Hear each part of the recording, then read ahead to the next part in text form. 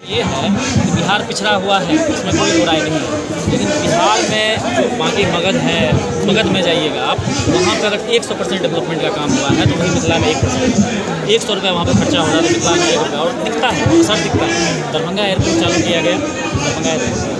Darbhanga airport दुनिया का सबसे खराब एयरपोर्ट है। वहाँ पे आपको एक डेढ़ किलोमीटर पैदल चलना पड़ेगा बरसात में चलना अच्छा अभी ये अभी नहीं दो साल से स्थिति है। मतलब जब से बनी है तब दरभंगा एयरपोर्ट से सरकार ने चार करोड़ कमा लिया है और उधर खर्चा किया है तो मात्र डेढ़ करोड़ तो ये स्थिति हमारी है। एम्स आठ साल पहले अनाउंस हुआ अभी तक नहीं पता पैदल क्यों चलना पड़ता? है कुछ नहीं है कुछ नहीं टर्मिनल में कुछ नहीं है। वायु ये डेढ़ किलोमीटर पैदल चलना पड़ता है खाली पट्टी बना दिया है बस बस। बस स्टैंड से भी बड़ा है। गुजरात का बस स्टैंड और दरभंगा का एयरपोर्ट उसमें से गुजरात का बस स्टैंड अच्छा है दरभंगा का एयरपोर्ट बुरा है ये सब। अच्छा आपका कौन से पॉलिटिकल पार्टी से वो कोई है? पार्टी कोई नहीं यार कोई नहीं, नहीं, नहीं, मेरा मतलब ये है क्वेश्चन आपके लिए कौन से पॉलिटिकल पार्टी से आपको ज़्यादा शिकायत है? क्योंकि आप 2015 में सबसे से- सबसे सबसे। किसी ने भी नहीं किया विकास। अगर मान लीजिए विकास करना था तो मिथिला विकास बोर्ड या पैकेज स्पेशल पैकेज या स्पेशल इकोनॉमिक जोन या कुछ सेंट्रल यूनिवर्सिटी सब सरकार देती ना केंद्र अगर देती उसको कहाँ मिल रहा है हमको? कुछ नहीं मिल रहा सब सरकार।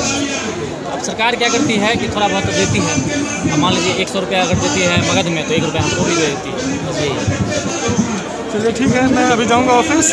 मैं आपको फ़ोन सुनिए बाढ़ है ना हो तो अभी अभी आइएगा अभी बाढ़ चल रहा है ना